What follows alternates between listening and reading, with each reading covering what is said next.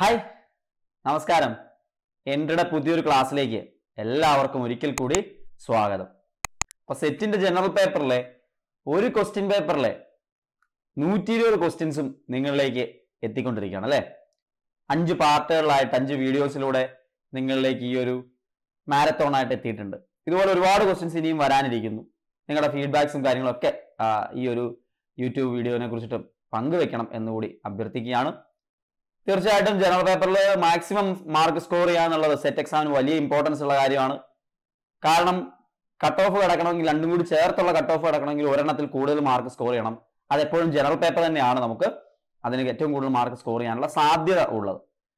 അപ്പൊ അത്തരത്തിൽ സെറ്റിന്റെ ജനറൽ പേപ്പറിലേക്ക് വരുമ്പോൾ ആദ്യ ഭാഗത്തൊക്കെ നമ്മൾ ഒരു അറുപതോളം ടീച്ചിങ് ആപ്റ്റിറ്റ്യൂഡുമായിട്ട് ബന്ധപ്പെട്ട ക്വസ്റ്റ്യൻസ് കാണുമ്പോൾ പിന്നീട് സോഷ്യൽ സയൻസിൽ നിന്ന് ഒരുപാട് ക്വസ്റ്റ്യൻസ് ഉണ്ട്. ഇംഗ്ലീഷിൽ നിന്നും മാത്സിൽ നിന്നും ഇമ്പോർട്ടന്റ് ആയിട്ട് കുറച്ച് ക്വസ്റ്റ്യൻസ് വരുന്നുണ്ട്. അതേപോലെ ജി കെ കറണ്ട് അഫയേഴ്സ് എന്ന് പറയുന്ന ആ ഭാഗത്തെ അറുപത് മാർക്കിൽ അത്യാവശ്യം ക്വസ്റ്റ്യൻ ചോദിക്കുന്ന ഒരു മേഖലയാണ് സയൻസ് എന്ന് പറയുന്നത്. സയൻസ് എന്ന് പറയുമ്പോൾ തന്നെ വളരെ വിശാലമായിട്ടുള്ള ഒരു ഏരിയ ആണ്. അവിടെ ഫിസിക്സും കെമിസ്ട്രിയും ബയോളജിയും ഒക്കെ ചോദിക്കും. സ്പേസ് ആയിട്ട് ബന്ധപ്പെട്ടുകൊണ്ട് ഫിസിക്സിന്റെ ഭാഗമായിട്ട് തന്നെ ഐ എസ് ആർ റിലേറ്റഡ് ആയിട്ടുള്ള കറണ്ട് അഫയേഴ്സ് ഒരുപാട് നമുക്ക് കാണാനായിട്ട് സാധിക്കുന്നുണ്ട്. അപ്പൊ അങ്ങനെയുള്ള ക്വസ്റ്റ്യൻസ് ആണ് നമ്മൾ ഇന്ന് ഡിസ്കസ് ചെയ്യാൻ പോകുന്ന ആ ഒരു വർഷം ഞങ്ങൾ ഇതുവരെ ഡിസ്കസ് ചെയ്തുകൊണ്ടിരിക്കുന്ന ഒറ്റ ക്വസ്റ്റ്യൻ പേപ്പറാണ് ഒറ്റ ക്വസ്റ്റ്യൻ പേപ്പറിലെ ക്വസ്റ്റ്യൻസ് ആണ്. ആ വർഷത്തെ ക്വസ്റ്റ്യൻ പേപ്പറിൽ സയൻസിൽ നിന്ന് എന്തൊക്കെ ക്വസ്റ്റ്യൻസ് ആയിരുന്നു ഉണ്ടായിരുന്നതെന്ന് നമുക്ക് നോക്കാം. ആദ്യത്തെ ചോദ്യം അത് കെമിസ്ട്രി റിലേറ്റഡ് ആയിട്ടുള്ള ചോദ്യമാണ്.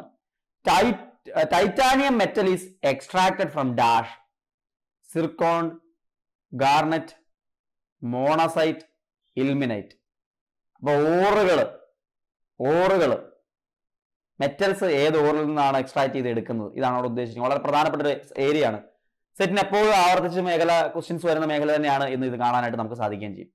അപ്പൊ ടൈറ്റാനിയം എന്ന് പറയുന്നതിന്റെ ഓർ ഏതാണ്? അതിൽ ടൈറ്റാനിയം എന്ന് പറയുന്ന എക്സ്ട്രാക്ട് ചെയ്യുന്ന ഏതിൽ നിന്നാണ് ഈ കൊടുത്തിരിക്കുന്നതിൽ നിന്നാണ് ചോദ്യമായിട്ട് വന്നിരിക്കുന്നത്. അവിടുത്തെ ആൻസർ എന്ന് പറയുന്നത് ഓപ്ഷൻ ഡി ആണ് ഇൽമിനേറ്റ് ആണ്. ഇൽമിനേറ്റ് ആണ് ടൈറ്റാനിയത്തിന്റെ ഓർ ആയിട്ട് അതിനകത്ത് വന്നിരിക്കുന്നത്. അപ്പൊ ഓറുകൾ ഇമ്പോർട്ടന്റ് ആയിട്ടുള്ളതിന്റെയൊക്കെ ഒന്ന് അറിഞ്ഞിരിക്കുന്നത് നന്നായിരിക്കും. അതിൽ നിന്ന് ഒരു മാർക്ക് സ്കോർ ചെയ്യാനുള്ള സാധ്യത നമുക്കുണ്ട്. ഏറ്റവും പ്രധാനപ്പെട്ടവയാണ് ഞാൻ ഈ ലിസ്റ്റിൽ നിങ്ങൾക്ക് ഇതിനോട് അഡീഷണൽ ഫാക്റ്റ് ആയിട്ട് ഉൾപ്പെടുത്തിയിട്ടുണ്ട്. അലുമിനിയത്തിന് ബോക്സൈറ്റ് യുറേനിയത്തിന് പിച്ച് ബ്ലെൻഡും കാർണറ്റൈറ്റും ടൈറ്റാനിയത്തിന് റൂട്ടൈലും ഇൽമിനേറ്റ് അതിലെ ഇൽമിനേറ്റ് ആയിരുന്നു ഓൾറെഡി ഇപ്പൊ ചോദിച്ചത്. മെർക്കുറിക്ക് സിന്നബാർ സിങ്കിന് കലാമിനും സിങ്ക് ബ്ലെൻഡ് അതിൽ കലാമിന് ഓർത്തിരുന്നോണോ ഇമ്പോർട്ടന്റ് ആണ്. പെൻലാൻഡേറ്റ് ആണ് നിക്കലിന്റെ തോറിയത്തിന്റെ മോണോസൈറ്റ് ചോദിക്കാൻ ചാൻസ് വളരെ കൂടുതലുള്ളതാണ് തോറിയത്തിന്റെ മോണോസൈറ്റ് ആ ഓപ്ഷനിൽ ഉണ്ടായിരുന്ന മോണോസൈറ്റ് ഉണ്ടോ? അതേപോലെ റോക്ക് സാൾട്ട് സോഡിയത്തിന്റെ ആണ് അയണിന്റെ ഹെമറ്റൈറ്റ് അല്ലെങ്കിൽ മാഗ്നറ്റൈറ്റ് ഒക്കെ അയണിന്റെ ഓറായിട്ട് വരുന്നതാണ്. ലെഡിന് ഗലീനയും മാലക്കൈറ്റും ചാക്കോപൈറൈറ്റും കോപ്പറും മാംഗനീസിന്റെ മാംഗനീസ് മാംഗനീസ് മഗ്നീഷ്യത്തിന്റെ മാഗ്നസൈറ്റ് ആണ്. അതേപോലെ തന്നെ കാസിട്രേറ്റ് എന്ന് പറയുന്ന ടിന്നിന്റെ ഓറായിട്ട് നമ്മൾ എടുക്കുന്നതാണ്. ലൈംസ്റ്റോൺ അല്ലെങ്കിൽ ജിപ്സം എന്ന് പറയുന്ന കാൽഷ്യത്തിന്റെ ഓറായിട്ട് എടുക്കുന്നതാണ്. സ്റ്റിബ്നൈറ്റ് എന്ന് പറയുന്ന ആന്റിമണിയുടെ ഓറാണ് പെറ്റാലൈറ്റ് എന്ന് പറയുന്നത് അതുപോലെ തന്നെ ലെപ്പിഡോലൈറ്റ് എന്ന് പറയുന്നത് ലിഥിയത്തിന്റെ ആണ്. കാർണലൈറ്റ് എന്ന് പറയുന്നത് പൊട്ടാസ്യത്തിന്റെ ആണ്. ബേറൈറ്റ് എന്ന് പറയുന്നത് ബേരിയത്തിന്റെ ആണ്. അപ്പൊ പ്രധാനപ്പെട്ട ഓറുകളൊക്കെ ഒന്ന് അറിഞ്ഞിരുന്നു. അതുപോലെ തന്നെ പെൻലാൻഡൈറ്റ് പൈറോറൈറ്റ് എന്നൊക്കെ പൈറോ ഹൈറ്റ് എന്നൊക്കെ പറയുന്നത് പ്ലാറ്റിനത്തിന്റെ ആണ്. പൈറോ ഹോറ്റൈറ്റ് എന്നൊക്കെ പറയുന്നത് കേട്ടോ. അർജന്റൈറ്റ് എന്ന് പറയുന്നത് സിൽവറിന്റെ ആണ്. എ ജി എന്ന് പറയുന്നതാണ് സിൽവറിന്റെ നമ്മൾ രാസനാമമൊക്കെ ആയിട്ട് എടുക്കാറുള്ളത് അല്ലേ? അതുപോലെ തന്നെ വനേഡിയത്തിന്റെ പെട്രോനൈറ്റ് ക്രോമിയത്തിന്റെ ക്രോമൈറ്റ് ഇതൊക്കെ ഒന്ന് ഓർത്തിരുന്നു. പ്രധാനപ്പെട്ട ഓറുകളാണ് അപ്പോൾ ഇതിൽ നിന്നാണ് ആ ക്വസ്റ്റ്യൻസ് വന്നിട്ടുള്ളത്. ഇതിനു മുമ്പ് ക്വസ്റ്റ്യൻസ് ചോദിച്ചിട്ടുള്ള മേഖലയാണ് ഒരുപാട് തവണ ചോദിച്ചിട്ടുണ്ട്. ഓറുകൾ ഏതൊക്കെയാണ് ഓരോ മെറ്റൽസിന്റെ എന്നുള്ളത്.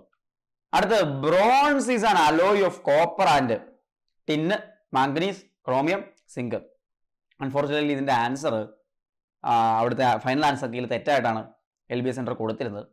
ബ്രോൺസ് എന്ന് പറയുന്ന എന്തൊക്കെ ചേർന്നിട്ടുള്ള അലോയാണ് കോപ്പറും ടിന്നും ചേർന്നിട്ടുള്ളതാണ് ബ്രോൺസ്. ബ്രാസിന്റെ കേസിലേക്ക് വരുമ്പോൾ സിങ്കും കോപ്പറും വന്നിട്ട് അവിടെ വരുന്നത്. അപ്പൊ അലോയ്സ് എപ്പോഴും ചോദിക്കുന്ന ചോദ്യം.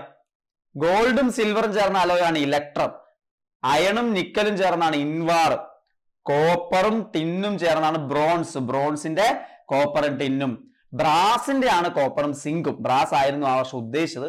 ആൻസർ കീൽ അതായിരുന്നു കൊടുത്തിരുന്നത്. അപ്പൊ ശ്രദ്ധിക്കണം. അലോയിസിൽ നിന്ന് ക്വസ്റ്റ്യൻസ് വരുന്നതാണ്.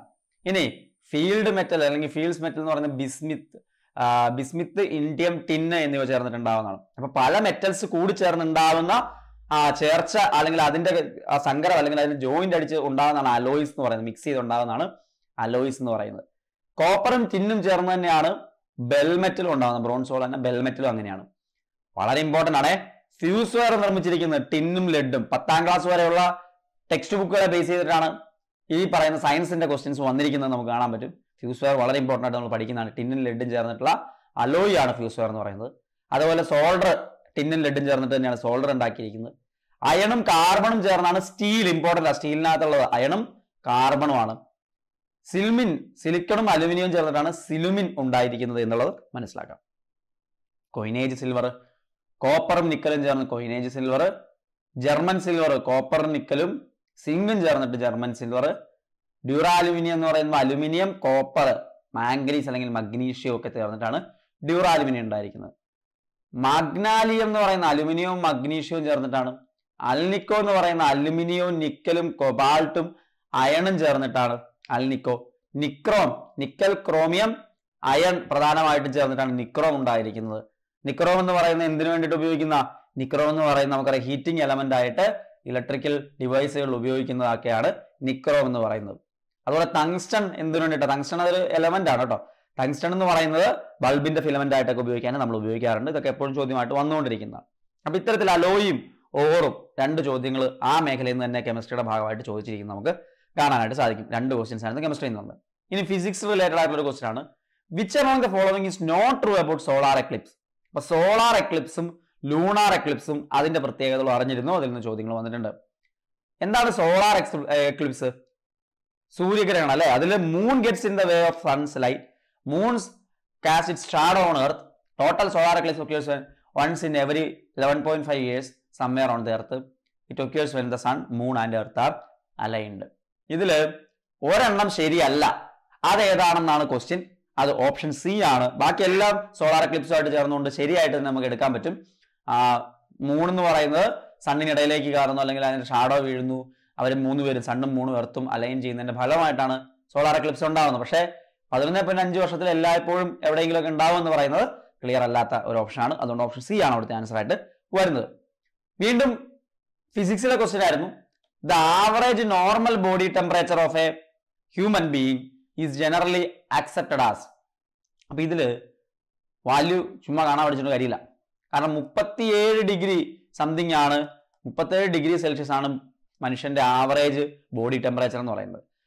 തൊണ്ണൂറ്റെട്ട് പോയിന്റ് ആറ് ഡിഗ്രി ഫാരൻ ഹീറ്റ് തൊണ്ണൂറ്റൊമ്പത് പോയിന്റ് ഏഴ് ഡിഗ്രി ഫാരൻ ഹീറ്റ് മുപ്പത്തെട്ട് പോയിന്റ് ആറ് ഡിഗ്രി ഫാരൻ ഹീറ്റ് തൊണ്ണൂറ്റൊമ്പത് പോയിന്റ് ഒമ്പത് ഡിഗ്രി ഫാരൻ ഹീറ്റ് എന്ന ഓപ്ഷൻസ് തന്നിട്ടുണ്ട്. ഇവിടെ മുപ്പത്തേഴിന് അടുത്ത ഒരു സാധനം ഉണ്ട് പക്ഷെ അതുകൊണ്ട് തെറ്റിക്കരുത്. അതല്ല കറക്റ്റ് ആൻസർ അതല്ല. ഈ മുപ്പത്തേഴ് ഡിഗ്രി സെൽഷ്യസ് എന്ന് പറയുന്നതിന് കറസ്പോണ്ടിങ് ആയിട്ടുള്ള ഫാരൻ ഹീറ്റിലെ വാല്യൂ ആണ്. തൊണ്ണൂറ്റി എട്ട് പോയിന്റ് ആറ് ഡിഗ്രി ഫാരൻ ഹീറ്റ് എന്ന് പറയുന്നത്. അപ്പോൾ Fahrenheit Fahrenheit Celsius Kelvin ഈ മൂന്ന് സാധനങ്ങളും പഠിക്കണം. നമ്മൾ ടെമ്പറേച്ചറിന്റെ അടിസ്ഥാന യൂണിറ്റ് ആയിട്ട് എസ് ഐ യൂണിറ്റ് ആയിട്ട് എടുക്കുന്നത് കെൽവിനെയാണ് കെൽവിനെയാണ് ടെമ്പറേച്ചറിന്റെ എസ് ഐ യൂണിറ്റ് ആയിട്ട് എടുക്കുന്നത്. പക്ഷെ ഫാരൻ ഹീറ്റിലും ഡിഗ്രി സെൽഷ്യസിലും ഒക്കെ ഓപ്ഷൻസ് വരാം. അങ്ങനെ വരുമ്പോൾ ഇത് കൺവേർട്ട് ചെയ്യാൻ പഠിക്കണം. നോക്കൂ ഡിഗ്രി സെൽഷ്യസിനെ ഫാരൻ ഹീറ്റിലേക്ക് കൺവേർട്ട് ചെയ്യാനായിട്ട് അല്ലെങ്കിൽ ഫാരൻ ഹീറ്റിനെ ഡിഗ്രി സെൽഷ്യസിലേക്ക് കൺവേർട്ട് ചെയ്യാനായിട്ട് നമുക്ക് ഈ രണ്ട് ഇക്വേഷൻസ് ഉപയോഗിക്കാം. നിങ്ങൾ ഫാരൻ ഹീറ്റിൽ ഒരു വാല്യൂ തന്നു കഴിഞ്ഞാൽ അതിൽ നിന്ന് ആ ഫാരൻ ഹീറ്റിലുള്ള വാല്യൂ നിന്ന് തേർട്ടി ടു കുറച്ചിട്ട് ഫൈവ് ബൈ നയൻ കൊണ്ട് മൾട്ടിപ്ലൈ ചെയ്താൽ മതി. ഫാരൻ ഹീറ്റ് വാല്യൂ നിന്ന് തേർട്ടി ടു കുറച്ചിട്ട് ഫൈവ് ബൈ നയൻ കൊണ്ട് മൾട്ടിപ്ലൈ ചെയ്താൽ നിങ്ങൾക്ക് ഡിഗ്രി സെൽഷ്യസിലെ വാല്യൂ കിട്ടും. ഇപ്പൊ നിങ്ങൾ ഇതിനെ ഒന്ന് ചെയ്ത് നോക്കി അങ്ങനെ. നിങ്ങൾ തന്നെ ഒന്ന് ചെയ്ത് നോക്കിയാൽ നിങ്ങൾക്ക് അതിന്റെ ആൻസറിലേക്ക് എത്താൻ പറ്റും. ഇപ്പൊ തന്നെ അത് പഠിച്ചു പോവാം. Ninety eight point six minus thirty two minus thirty two into five by nine എന്ന രീതിയിൽ നിങ്ങൾക്ക് അതിനെ കണ്ടുപിടിക്കാനായിട്ട് സാധിക്കും. അപ്പൊ ആ രീതിയിൽ അറുപത്തി ആറ് പോയിന്റ് നാല് അറുപത്തി ആറ് പോയിന്റ് യെസ് അറുപത്തി ആറ് പോയിന്റ് ആറ് എന്നുള്ള രീതിയിൽ അല്ലേ? അറുപത്തി ആറ് പോയിന്റ് ആറ് ഇന്റു ഫൈവ് ബൈ നയൻ എന്നുള്ള രീതിയിൽ നിങ്ങൾക്ക് അതിനെ എടുക്കാൻ പറ്റും. അപ്പോൾ അത് മൾട്ടിപ്ലൈ ചെയ്തൊക്കെ വരുമ്പോൾ മുപ്പത്തേഴ് ഡിഗ്രിക്ക് അടുത്തായിട്ട് അവിടെ ആൻസർ കിട്ടുന്ന കാണാനായിട്ട് സാധിക്കുകയും ചെയ്യും.